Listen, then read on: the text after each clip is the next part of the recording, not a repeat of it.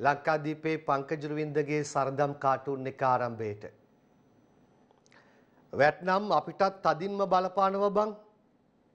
ඒ වුණාට සෑර්ලා තවම තුන්වේල කනවනේ. එතිකොට කොහොමද ඕගොල්ලන්ට තදින්ම බලපාලා තියෙන්නේ? පුරවැසියෝ වේලක් නොකා වේලක් අද්දී ඕගොල්ලෝ තුන්වේලම කනවනේ.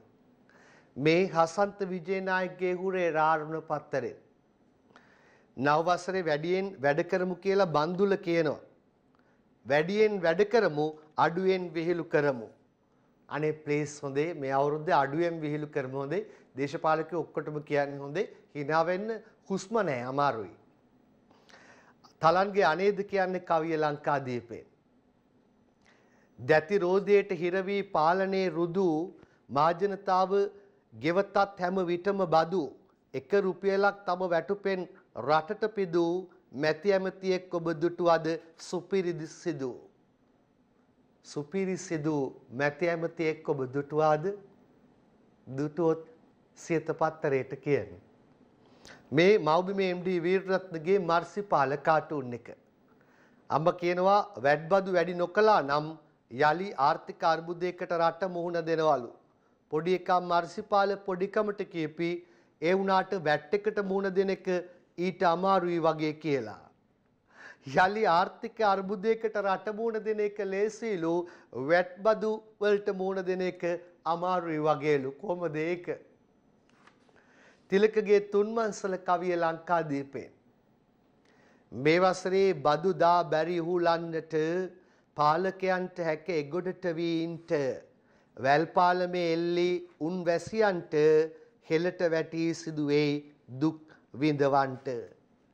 වැල්පාලමේ හරි හිටියා. දැන් හෙළටම වැටිලා ඉන්නේ. දුක් විඳිනවා පුරවැසියෝ. ඔන්න වැල්පාලමේ වංකගිරියේ තරම.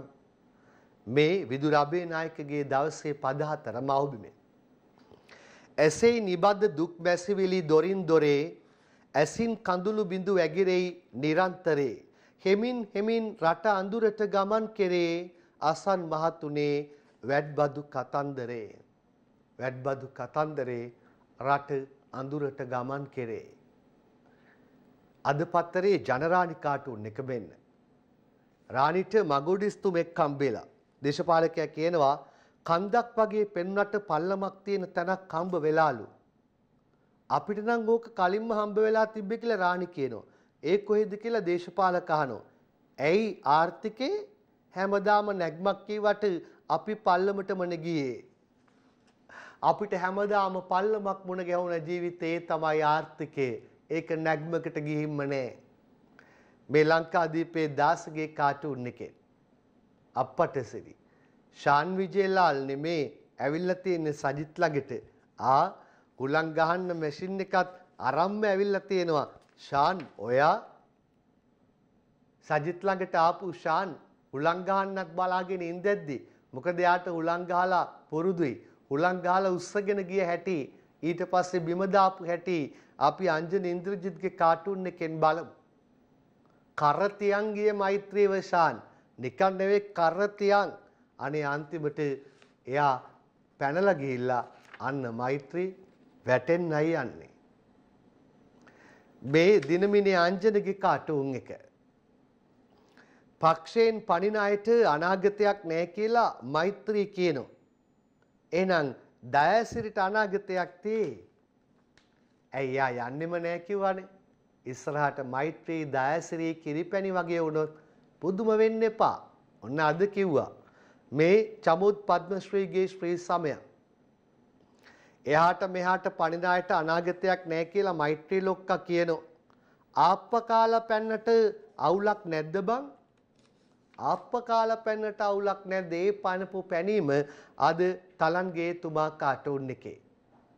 රාජදාසට එතුමා මුණ ගැහිලා. රාජදාස අහනවා එහාට මෙහාට පණිදායට අනාගතයක් නෑ කියලා මෛත්‍රී කියනවා. පච්ච නේද සර්? මෙන්න එතුමාගේ උත්තරේ.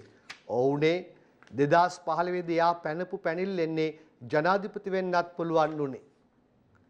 එහාට මෙහාට පණින අයට අනාගතයක් නෑලු. ජනාධිපති වෙන්න පුළුවන් වුණාට ඉන් අනතුරු එයාගේ අනාගතය නැති වෙලා ගියාද කියලා එයාම උත්තරයක් දෙන්න ඕනේ.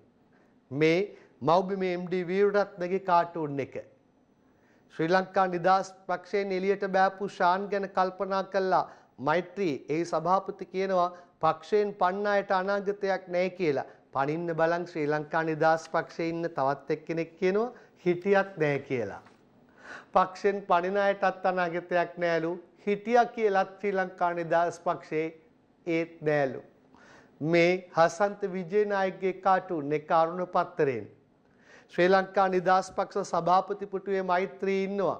එයා ඉන්න තැන බලන්න කොතනද කොයි වගේ තැනකද සංකේතවත් කරලා ඉන්නේ කියලා ආ මේකේ සම්බරතාවය රැකෙන්නේ එහා පැත්තේ ඉතුරු වෙලා ඉන්න පොඩි පිරිසෙන් අන්න ඒගොල්ලොත් හැරිලා එකා දෙන්න යන්න හදනවා අනිත් අයත් ගියොත් අනේ මෛත්‍රී ඔයා කොහෙද?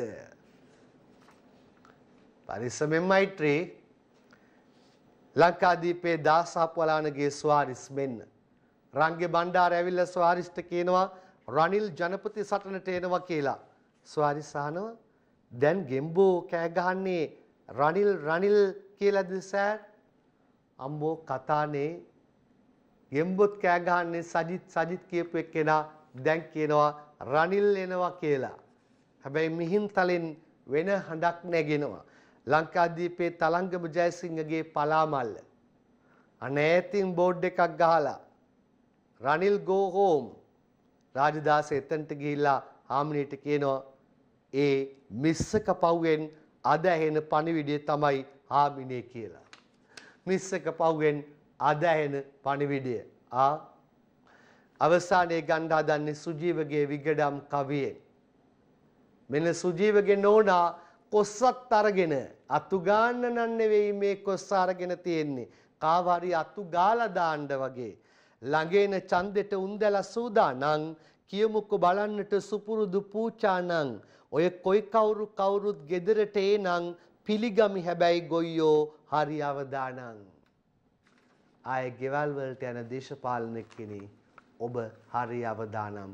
අපූර්වට පිළිගන්න ගෙවල් වල උන්දලා බලාගෙන ඉන්නවා.